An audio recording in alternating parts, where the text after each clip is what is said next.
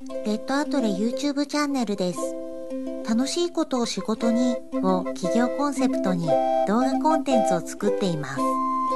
女装したり、ウルトラマンになったり、コスプレしたり、ミニスカサンタにラジオ体操を踊らせてみたり、と変な動画ばかり作っているわけではなく、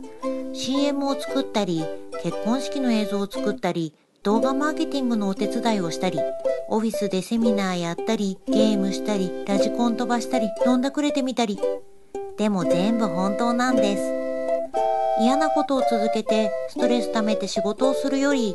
楽しいことを続けてそれが仕事になったらハッピーですよね。自分が好きなことを仕事にしようと一生懸命頑張っている人は応援したくなります。楽しいを自分で作る。あなたは今楽しいですか？